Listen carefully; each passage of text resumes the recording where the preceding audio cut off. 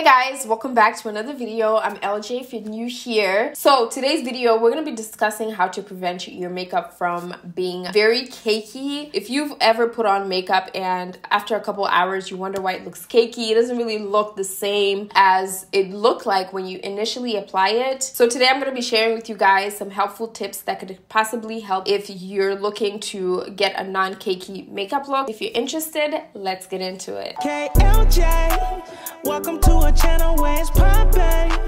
Mm, welcome to a YouTube. Honestly, nothing feels worse than your foundation or your makeup caking up on you after you just spend hours doing it. But I'm gonna be breaking this video down into six different talking points that might help you and prevent your makeup from caking up on you. So the first point is to make sure to hydrate and moisturize your skin before jumping into makeup. I know this can sound like a no-brainer, but I used to jump right into applying primer without moisturizing my skin and thinking that primer can act as a moisturizer, okay? But I realized that my makeup never lasted whenever I did that. So now what I like to do is I like to make sure that the texture on my skin is well moisturized before I even apply a primer. So make sure that you're investing in a good moisturizer that works well for your skin type. That's very important. I usually use a moisturizer that is hydrating and feeds my skin all the things that it might be lacking in that morning. A really, really good moisturizer that I really like is a Fresh Deep Hydration Moisturizer, which I recently ran out of, which I need to go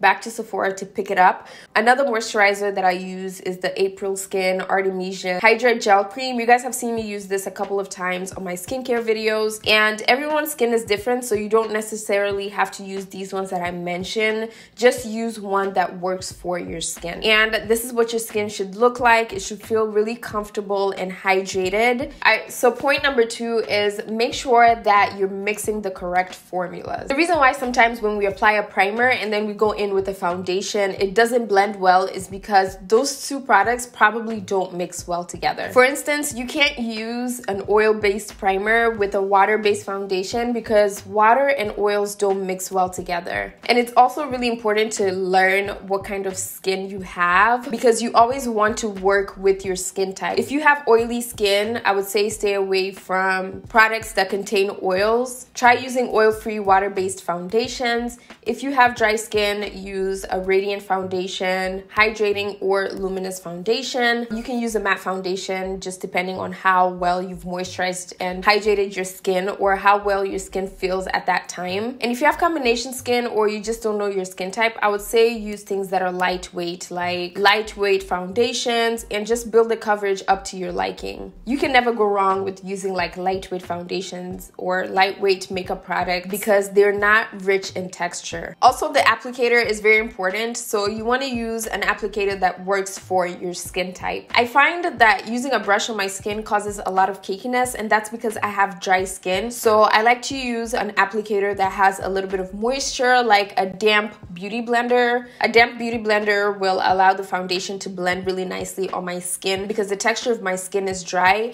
I need that moisture to help blend out my foundation. I would say use a brush if you have oily skin or the surface of your skin has a little bit of moisture and oil to help blend it out because brushes are usually dry. And if you have oily skin, you already have have those oils on the surface of your skin that help blend out the foundation really nicely and really smooth. All right, so first I'm gonna go in with primer and I'm gonna use the Kevyn Aucoin Sensual Skin Primer. This is a hydrating primer, so it doesn't have any oils and I'm gonna go in with a water-based foundation. So you definitely want to go in with a primer because a primer really helps get your makeup to last longer and it also helps to prevent cakiness. For foundation, I'm gonna be using the Bobbi Brown Skin Foundation. So this foundation foundation is definitely a water-based foundation and it's an oil-free foundation as well. So I've used a hydrating water-based primer with a water-based foundation. All right, so point number three is try not to use use a lot of foundation. I feel like this is the most important thing is try to make sure that the amount of product that you're using is not too much because essentially that's what causes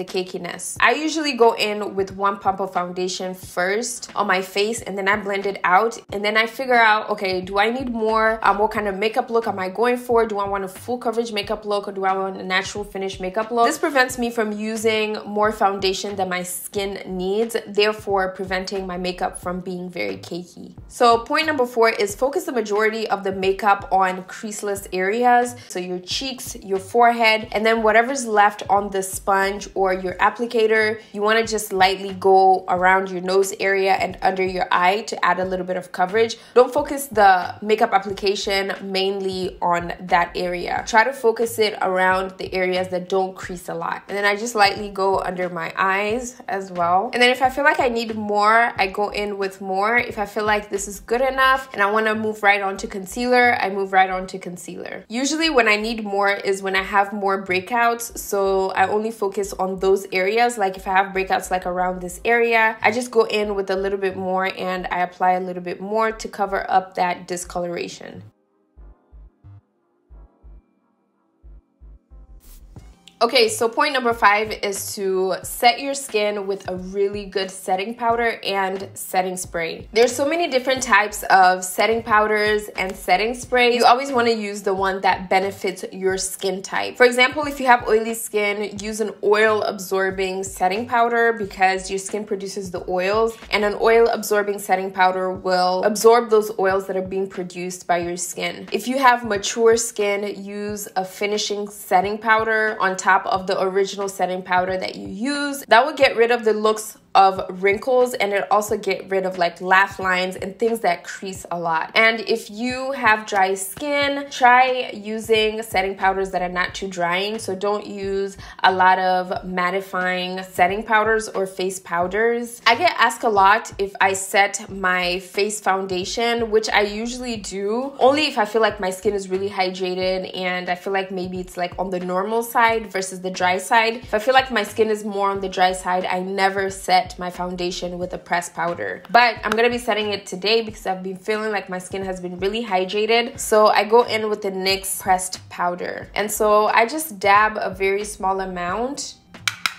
dust off the excess and I just press this around the areas that I placed the foundation and I place it all over my mouth area and I place like a very small amount because remember the less that you use the less your foundation and your makeup is going to cake on you. After doing that I go in with a setting powder and a setting powder that I've been really liking for my dry skin is this Milani translucent setting powder. If you have oily skin I would say use a mattifying mattifying setting powder or an oil absorbing setting powder. One that I really like is this Makeup Forever Ultra HD setting powder. It's perfect for setting your under eyes if you get really oily under your eyes and your nose area. All right, so after setting my skin, I use setting spray to make sure that all this powder really sinks into my skin and it melts really nicely on my skin instead of sitting at the surface of my skin. So you want to use a setting spray that benefits your skin type. Just the same way with the setting setting powder. So if you have dry skin, you want to use one that is luminous or radiant. And if you have oily skin, just use one that is really hydrating. It's going to help really melt that makeup onto your skin without making your skin produce even more oils than it should. So one that I really like is this Milani Make It Last Dewy Setting Spray because my skin is dry. I like to use a dewy, luminous, or a radiant setting spray. After doing that, I just press this into my skin with the sponge that I used for the foundation to make sure it settles really nicely on my skin and it really helps to melt that makeup. And I just lightly tap on it. I don't press it too hard because when you press it too hard, you're going to move the makeup, which you don't want.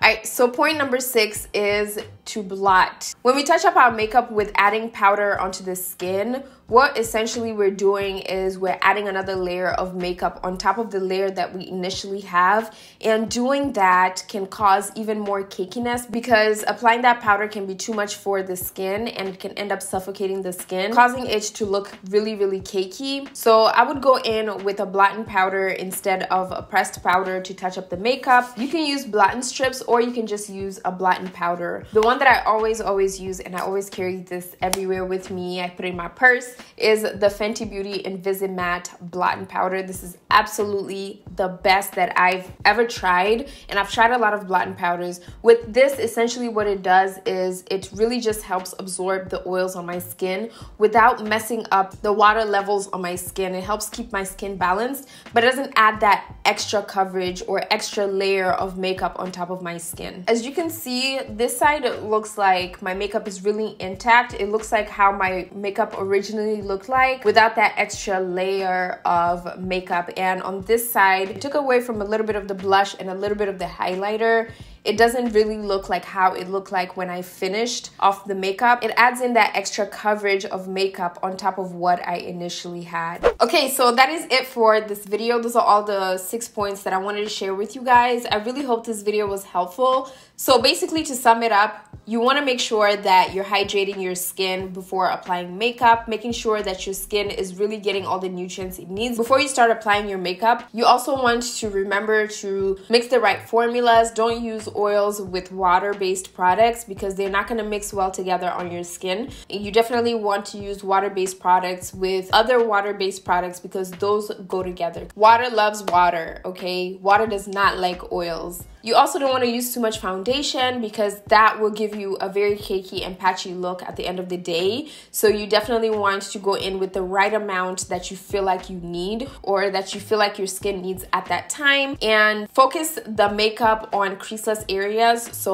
on the areas where you don't have pores, you don't have wrinkles, your skin doesn't crease a lot. Focus the majority of the makeup there and then add a little bit of makeup on the areas where it creases like around this area right here where most people get get pores, I would say avoid putting too much foundation there because it can clog up your pores, making your makeup very cakey. And then you just want to focus on setting your skin really well using a good setting powder and a good setting spray that is beneficial to your skin. And also you want to blot instead of adding powder on top of your skin. So that's everything to just basically sum this video up. If you enjoyed this video, don't forget to leave your girl a big thumbs up. Also subscribe if you haven't already because I would love to have you in the LJ family and shout out to my new subscribers that just recently joined the family. I'm really glad to have you guys on my channel. But other than that, I will see you guys in my next video. KLJ, welcome to a channel where it's.